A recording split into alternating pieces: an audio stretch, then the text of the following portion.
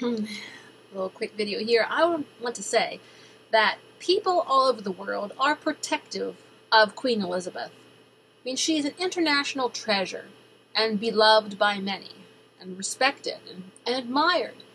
And the thing is, we do not like Meghan attacking the Queen. I mean, and also she's an elderly woman and she's an icon. She's seriously the longest reigning monarch of England, and she is an icon. And we just de- we definitely take offense at the way Meghan and Harry have treated the Queen. I said, and we're not even relatives. We are just fans and admirers from afar. So that's one of the reasons why we pushed back against them, because we do not like the way they have treated her. I said, last week I sent her a card saying how much I admire her and I'm sorry she's been having such a tough year. And I just want to cheer her up because, I mean, she's had a bad time in her old age and with the family, just all kind of troubles. So um, we're definitely protective of the queen, and that's why we do not take take Meghan's um, nastiness lightly. That's why we're up here waiting to see what the outcome of this showdown is going to be. And we are definitely rooting for the queen. I said, and so many people, you know, like are fans of the monarchies because it's like it's magical. It's their their childhood, it's their dreams. You know, and it's fun to keep up with them. You know, it's fun to know that there's still some of that a little bit of magic is still staying around. Now, I said these days, I think the constitutional monarchy like they have has worked pretty well because I mean the royals are mostly ambassadors. They're mostly like a class of ambassadors and figureheads of the nation. They're not they're not off with your head or anything because th- those kind of monarchs didn't last. But the interesting thing would be is could new monarchies form these days? because I just wonder I mean, I guess if you went by Hallmark, you probably would say new monarchies should form because they're always having videos about princes marrying the commoners. Because that seems to be everybody's dream, even today. Odd enough that the dreams are still the same as they were back in the day of Cinderella. Everyone wants to marry, all the ladies want to marry princes, so it's an interesting thought if there could be more monarchies pop up today. But hey, you never ever know. But if they did, they'd probably have to be more constitutional because the other kind are just too unfair, the kind throughout history. But anyway, so so I said it's really funny how Harry has just left everything to be a camp follower. I mean, it's really disgraceful and embarrassing. But like I said in my previous video, they don't disgrace easily. I remember there's this one old cheap film, and Paulette Goddard was supposed to be in love with with a, a bandit. I think it was Pedro Gomez or something, one of those guys from the 40s or 50s. And so she was some rich lady. She gave up everything she had to walk barefoot across the sands and follow him in his travels. But that, that apparently is what Harry has done. And he doesn't apparently have any regrets and we'll see if he ever does. But it's just too much to ask. But apparently, that is what he has done, and it's and being a royal is just all the more embarrassing. And he's not even going to be going quietly, like you know the former king and Wallis Simpson. They were pretty quiet, but you can count. And, and Harry wasn't even going to be king you can count on them being very, very loud and causing quite a few ruckuses over the years because they want attention. Like I said, they still, and I feel it so far, they are still, they're getting their way of being part time royals because they are still speaking to the patronages. They still have their patronages. They're still representing the royals. So far, they are getting their way. And that is something that is a problem. But like I said, question is, is the queen going to be able to the evidence against them and you know using their titles to profit, it's all there.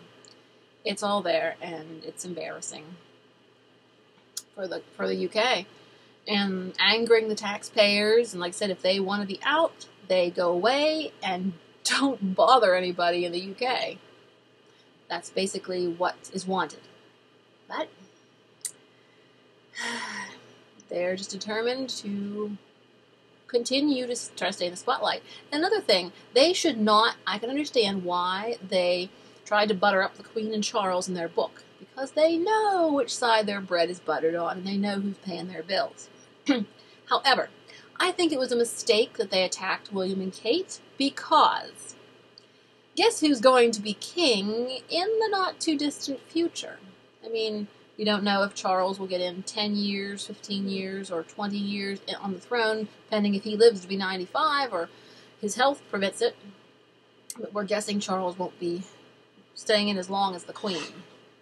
So, William is going to be taking the throne in 10 or 15 years, and um, that'll put Harry and Meghan in a little bit of a bad position because they shouldn't have done it. They shouldn't be bad mouthing the people. But I guess everybody has some bad family members that always cause trouble. And apparently, these two take the cake. Of all bad family members who cause trouble in the family, these two are the king and queen of the troublemakers. So, and as for their future in Hollywood, I don't. If they are, I would be surprised if they would be able to get somebody to back them in some venture. Because, you know, these are people, they are not going to be satisfied with little zero budget films. For for Meghan to get a film that she wants to be in, it would have to be, you know, multi-million dollar film. And and it would take a lot of money and of course they can't afford it because they can barely afford to stay in their house without assistance. And so they cannot afford themselves. I mean, little independent filmmakers like me, who's used to being on zero string budgets, would be able to make a million films with a million dollars. But but people like them, they are used to the best, the top of the line, and the top of the line means millions and millions and hundreds of millions of dollars to make a film. And like I said, with Hollywood the way it is, collapsing, California's burning, I hear all the Hollywood people are moving to Nashville. So maybe the capital of the film industry is going to move too.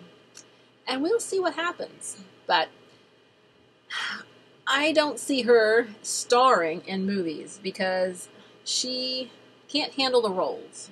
She doesn't have the acting chops.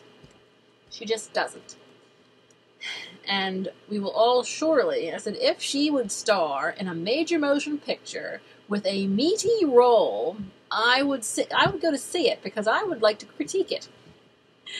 But for the most part, I think she'll get cameos, cameos, and just trading off her reputation and her titles. Oh dear, heaven forfend.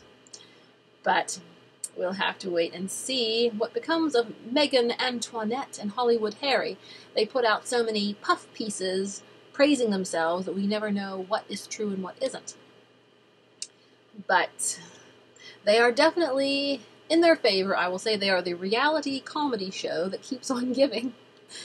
Well, some of you might get really mad about it, but especially the, the UK taxpayers. But a lot of us are just going to sit back and laugh but we will defend the Queen. And we will defend the, the good royals, William and Kate, and we are, do not take lightly these rogues trying to break up the government. It's like a national offense, a terrible offense. So that's why we keep talking about them because they are notorious. They are the most disliked couple in the world, and we are just waiting to see them fade into the privacy that they claim to want so badly. Let freedom ring.